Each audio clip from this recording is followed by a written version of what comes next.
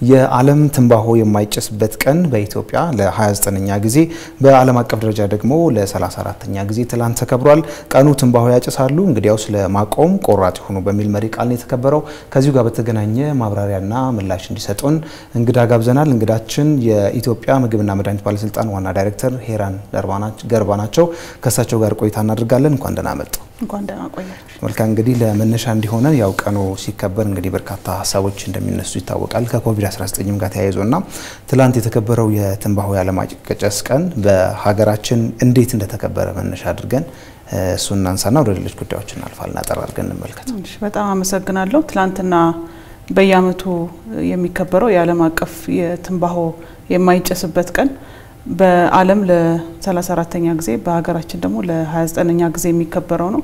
ይሄ እንግዲህ በዋነኝነት በአዲስ አበባ ብቻ ሳይሆን በድሬዳዋ፣ በአፋር፣ በቤኒሻንጉልና በጋምቤላ ክልሎች ላይም በተመሳሳይ ሁኔታ በተለያዩ ሁነቶች የሚዲያ አካላትን የተወሰኑ ስልጠናዎች በመስጠት የፕሬስ ሪሊዝ ወይም ደግሞ ለህብረተሰቡ የሚደርስ መረጃ በማሰራጨትና በጎዳናዎች ላይም የተለያዩ መልእክቶችን ይዘው ህብረተሰቡን በማነቃቃት በዓሉ ተከብሯል።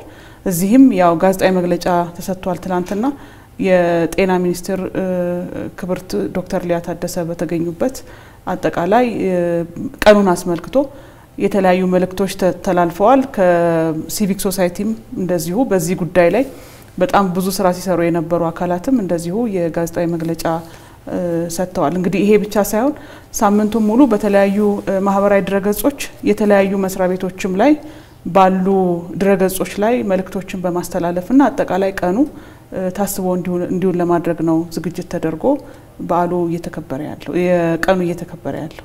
መልካም እንግዲህ ይሄኛውን በዓል በአመት አንድ ጊዜ አንድ ቀን ላይ ከማክበር ባለፈ ወይም በዘለለ በተለይ አጫሾች ቁጥር እንዲቀንስ ከፍተኛ ስራ እንደሚጠብቅ እንግዲህ በተለያየ አጋጣሚ የምንሰማውና በተጨባጭ ለውጥ እንዲመጣ የአጫሾች ቁጥር እንዲቀንስ እየተሰራ ያለው ስራ ምንድን ነው? በዓሉን ከማክበር ተያይዞ እንግዲህ ሁለት ነገሮች ናቸው። በ Framework Convention for Tobacco Control በሚባል አጠቃላይ የትንባሆን ጉዳይ አገራት ተስማምተው ስምምነታቸውን የገለጹበት መስማሚያ ሰነድ ነው።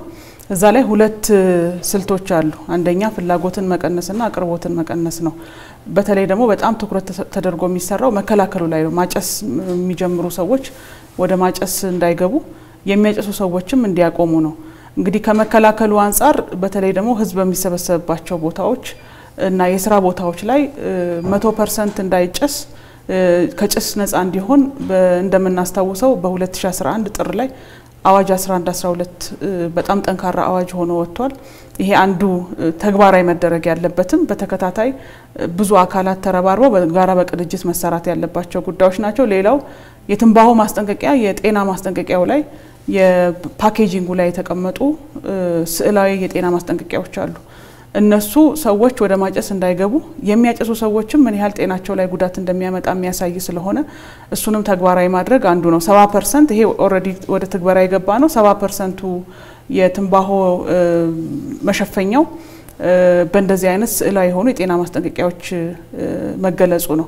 ከዛ ውጪ ማስታወቂያዎች፣ promotion፣ sponsorship እንደዚህ የመሳሰሉት አጠቃላይ ክልከላ የተደረገባቸው ናቸው። እንግዲህ ይሄ non price measures የምንላቸው ከዋጋ ጋር የማይገናኙ ናቸው። ከዋጋ ጋር የሚገናኘው ደግሞ ባለፈው ዓመት የኤክሳይዝ ታክስ ሕግ ተከልሶ ትንባሆ ላይ ከፍተኛ ታክስ ተጥሏል ድሮ ከነበረው። ይሄም የሲጋራን ዋጋ ውድ አድርጎታል፣ ወይም ደግሞ ከድሮ ከነበረበት በጣም በከፍተኛ ሁኔታ ዋጋው እንዲጨምር ተደርጓል። ይሄም affordable እንዳይሆን ወይም ሰው በቀላሉ እንዳይገዛው የማድረጊያ ስልቶች ናቸው። ስለዚህ እነዚህን ሁሉ ስናይ ቀኑን ለአንድ ቀን ከማክበር በነገራችን ላይ ቀኑ የሚከበረው የራሱ ዓላማ አለው። አንድ ሰው የሚያጨስም ከነበረ ለ24 ሰዓት እንዳይጨስ ከዛ በኋላ እየተለማመደው አለማጨስን እየተለማመደው እንዲሄድ፣ ሁለተኛ ስለ ትንባሆ ግንዛቤ ማስጨበጥ ስለ ጤና ጉዳቱ ግንዛቤ ለማስጨበጥና አጠቃላይ ዓለምን ከትንባሆ ጭስ ነጻ ማድረግ ነው። ይሄ ደግሞ ተከታታይ ስራ ነው የሚሰራው የአንድ ቀን ብቻ ሳይሆን የብዙ ጊዜያቶች ስራዎች ድምር ውጤት ስለሆነ ውጤት የሚያመጣው ይሄን ቀን በየአመቱ በዚህ ቀን ቢታሰብም በተከታታይ የሚሰሩ ስራዎች ናቸው ለትንባሆ ውጤታማነት የራሳቸው አስተዋጽኦ ያላቸው። መልካም እንግዲህ ከማጨስ ጋር በተገናኘ የሚኒስትሮች ምክር ቤት ከዚህ ቀደም ጠንከር ያለ ደንብ አውጥቶ እንደነበረ እናስታውሳለን። እሱ ደንብ ወጥነት ባለው መልኩ እየተገበረ እንዳልሆነም የምንታዘበው ጉዳይ ነው። ያ ለምን ሆነ? ቀጣዩ ጥያቄ ነው። ምናልባት ከዚሁ ጋር ተያይዞ ደንቡ የወጣው አንድም የማያጨሱ ሰዎች በሚያጨሱ ሰዎች ምክንያት ጉዳት እንዳይደርስባቸው ለጉዳት እንዳይጋለጡ በመሆኑም ጭምር ስለሆነ ምንድን ነው ከዛ አንጻር ማለት የሚቻለው? እንግዲህ እንደተባለው በዓለም ካሉ ሕጎች አንጻር እና ከኮንቬንሽኑም አንጻር ሲታይ አዋጅ 11 12 ላይ የተቀመጠው ያው አዋጅ 11 12 የትንባሆ ሕግ ብቻ ሳይሆን የምግብና መድኃኒት አስተዳደር አዋጅ ነው። ይሄ በጣም ጠንካራ ሆኖ ጠንካራ የሆኑ የትንባሆ ድንጋጌዎችን ይዞ የወጣ አዋጅ ነው። ትክክል ነው። በመሰረታዊነት የማያጨሱ ሰዎች በትንባሆ ጭስ ለትንባሆ ጭስ ተጋላጭ እንዳይሆኑ ነው ዋናው ዓላማ።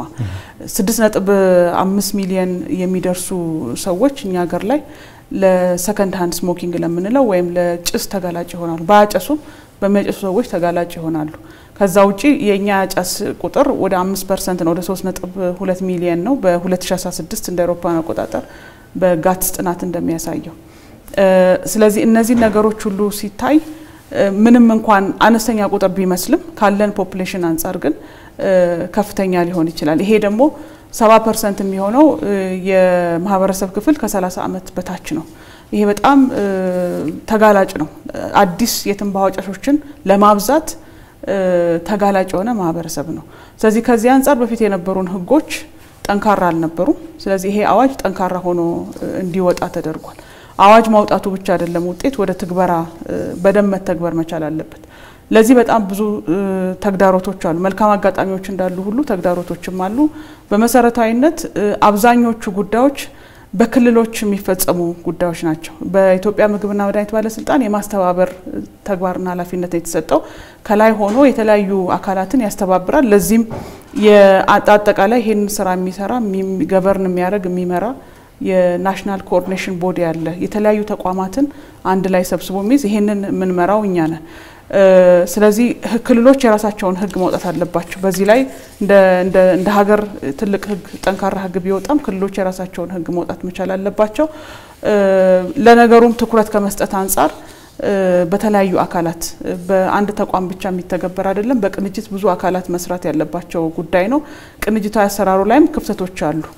ስለዚህ ይሄንን ለወደፊቱ ማስተካከል ያስፈልጋል። ሌላው የትንባሆ ኢንዱስትሪውን ራሱን ጣልቃ ገብነት በጣም መቋቋም ያስፈልጋል። ለምሳሌ ሰባ ፐርሰንቱ የጤና ማስጠንቀቂያ አዋጁ ከወጣ በአንድ አመት ውስጥ ነበር ይተገበራል ተብሎ የተቀመጠው። ይሄን አሁን ወደ ትግበራ ተገብቷል። ወደ ትግበራ ከገባ ቆይቷል። ግን ይሄን ራሱ ለማስተግበር ቀላል አልነበረም።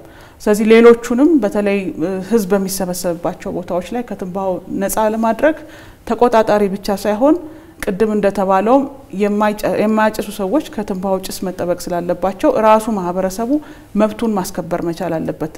ፖሊስ ወይም ሌላ ተቋም በየቦታው ተቆጣጣሪዎችን ሊያስቀምጥ አይችልም እና የህጉ ላይ ያለውን ግንዛቤ በደንብ በሰፊው ማስረጽ በጣም ጠቃሚ ሊሆናል። ለዚህና እነዚህ ክፍተቶች እየደፈናቸው እያስተካከለናቸው የምንሄድበትንም እኛ ከላይ ሆነን ክልሎችንም የመደገፍ ህግ እንዲያዘጋጁ ሞዴል ህግ አዘጋጅተን ለሁሉም ክልሎች አዳርሰናል።